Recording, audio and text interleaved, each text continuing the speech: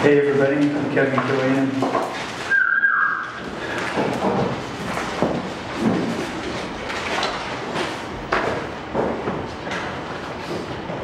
Uh, thanks for having me here, James, and uh, James Gendron, thank you for, uh, you know, letting me recreate your poems for my own pleasure.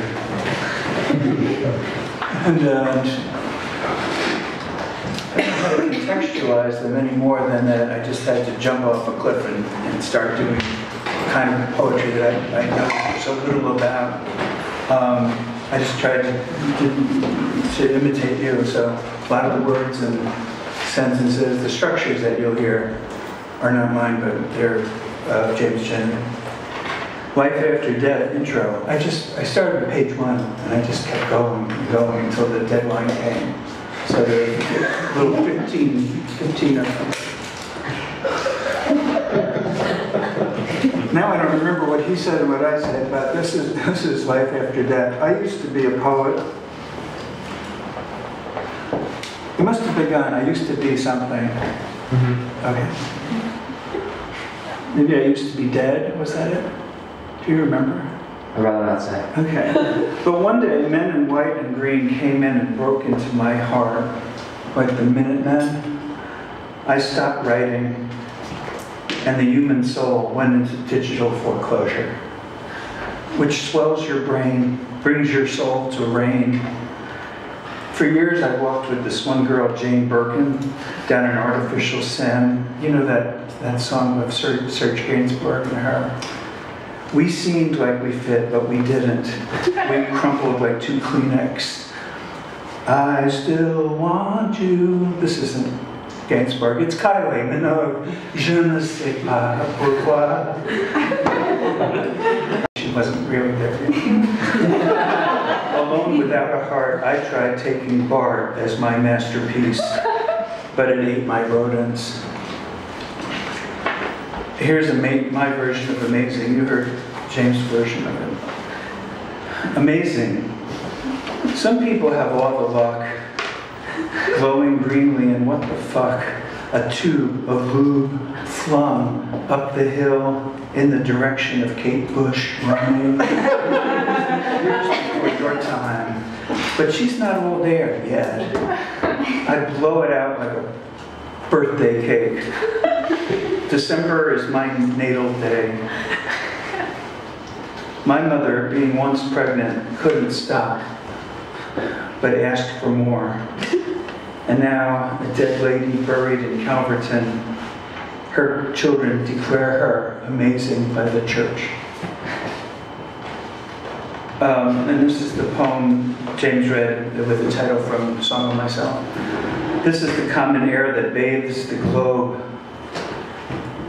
this is where the grass grows and the Easter grows, where I picture leaves as brief diary entries torn from my locked up secret book, high in the wind, my doctor's reports in them, my silly passions, my old autograph album, Fly Away, myself, about which I once sang such songs.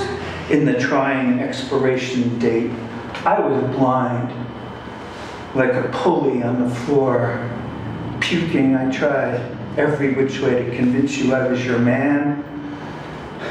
I had the gifts of a tree, I swore, the heavenly tree, whose roots, roots extend, break through the leaves of grass, and inch their way into your body. I had lots to say. I just didn't know that in your future, words would lose their purchase. In the wind, bits of paper mache and gravel make grooves in your face like a vinyl record I could spin you around in. Somewhere a needle drops, and after a bustle, a bustle of sound begins. Oh, Arthur Russell, you would have been proud of me using voice memo last night. they, he always liked the most sophisticated in technology that they had in the late 70s. They wanted a spooky story recorded to be played at a spooky house in Portland. I told them the one where your sharp, calloused fingers woke me from a nap by my earlobe, and I was not happy.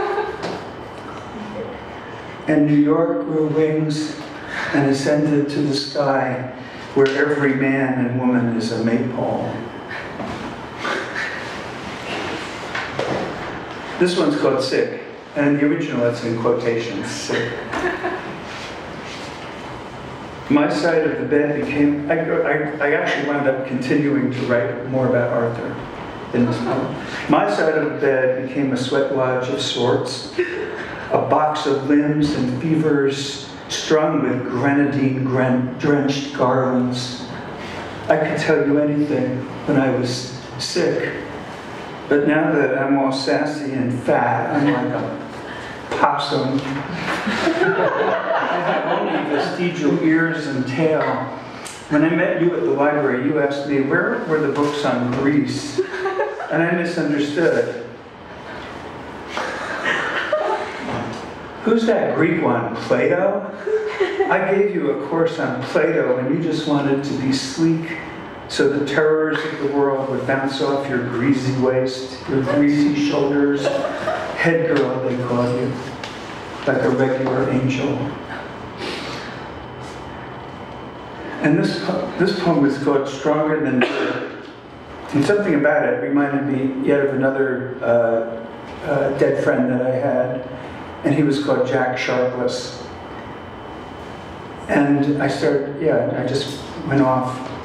The sky drinks vaginas, plural, from your bright green basin. The sky looks at Jack Sharpless, dead pet of the gay poets in the Thom Gunn, Ron Johnson circle of the early 80s. There was just one Jack Sharpless, and the Song Cave printed his final poems last year. He once measured his dick against the rails in a long gray fence of cock consciousness. He didn't have, a very good looking guy, but very few pictures of him exist. And I found one on the internet, and he's there like at some kind of South of Market, uh, empty lots like we used to have, with a big fence, and on it some graffiti artist had written these words, giant letters, cop consciousness, but I always thought the guy or girl who did it must have been drunk because they couldn't remember how consciousness actually ends in letters. So just as like once you reach like you, just as like S and more, and more the cock consciousness.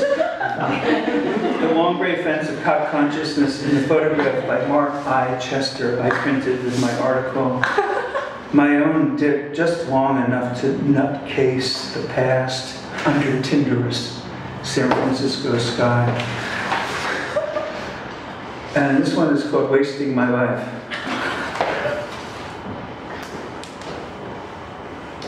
Preparing our taxes, Dodie called out to me, why did you give $85 to the Association of Light Boston? It was light as L-I-T-E. Light Boston. Eventually we worked it out. It was my subscription to the Association of Literary Scholars and Critics in Boston. And they had, they had embroidered it down to fit some Twitter-sized slot. But I did like the idea of an association of light Boston, especially if light was going to be L-I-T-E. Did you realize that in her fever tour, Kylie wore seven miles of braids, cornrowed, interwoven with metallic strips that matched her dress fabric? It struck me full of non-presidential life. Bread, where, where do you come from?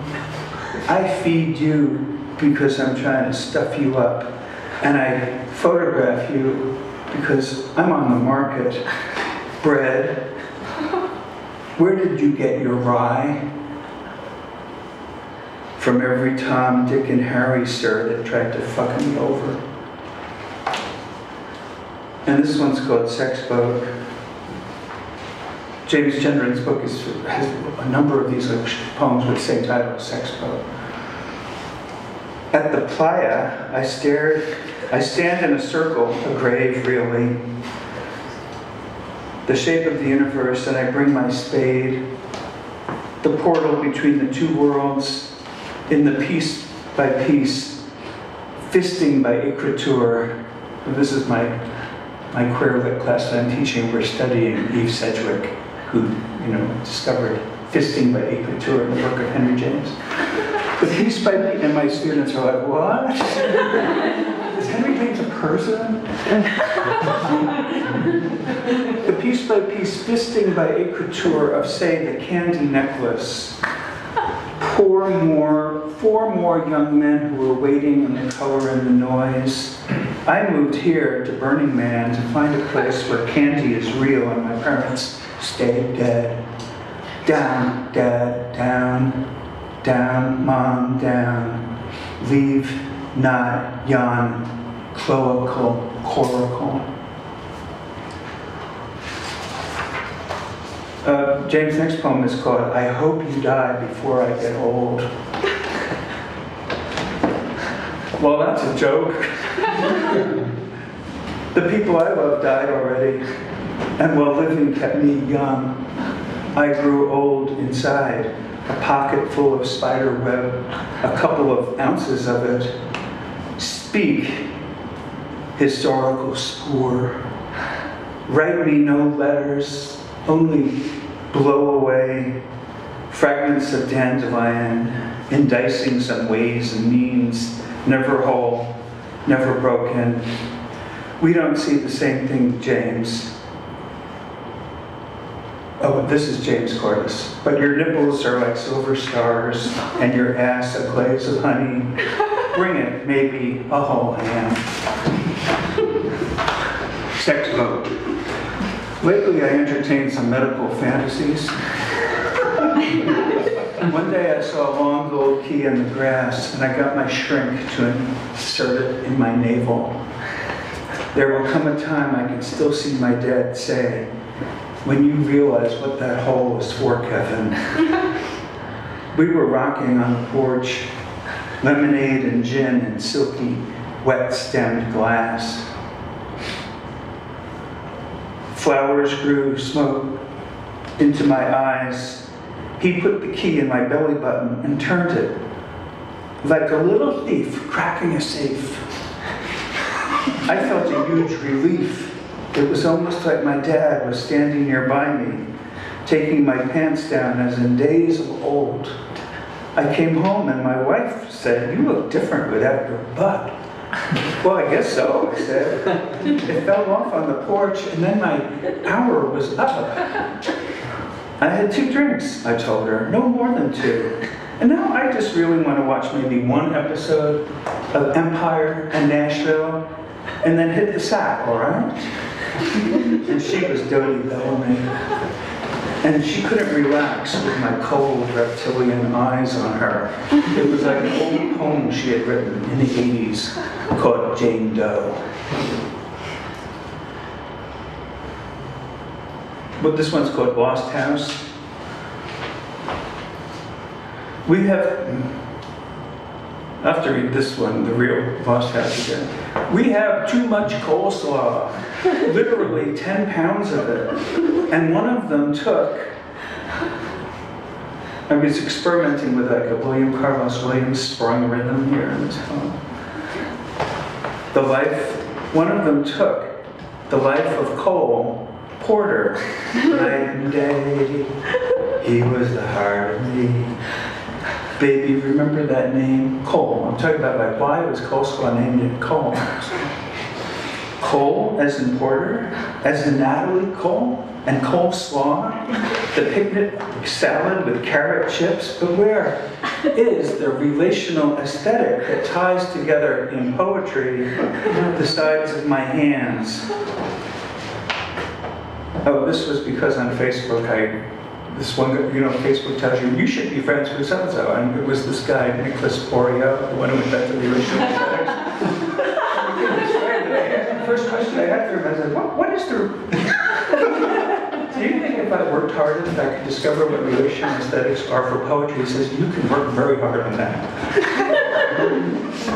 Where is the relational aesthetic that ties together in poetry the sides of my hands and the names of our top pop entertainers? It is a lost house where Paris is burning in a square made of pointing fingers, you know, like this.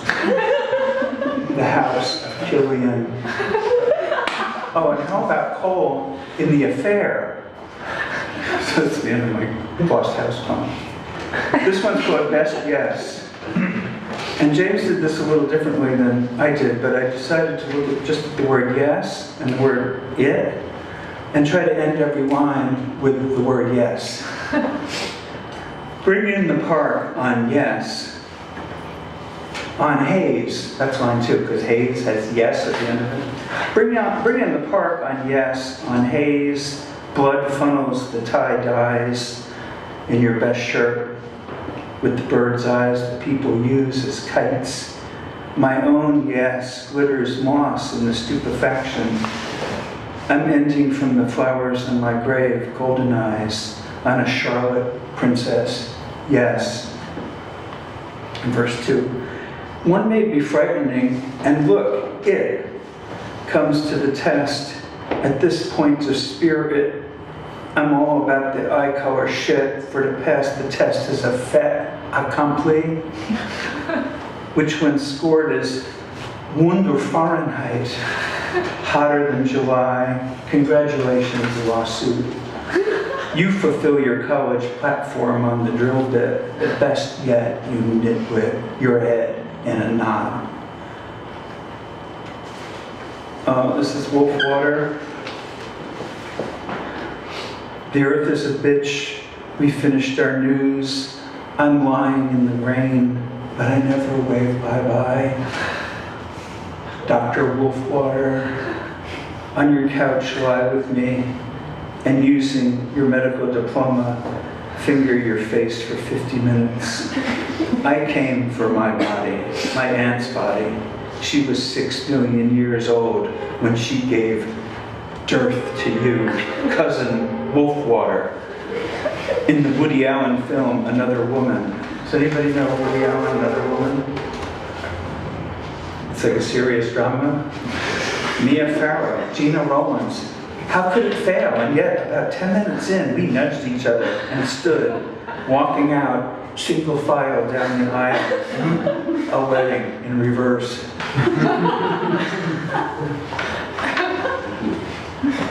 This is the last one. No, I have three more. Surfing Bummer. James read this one here. Surfing Bummer.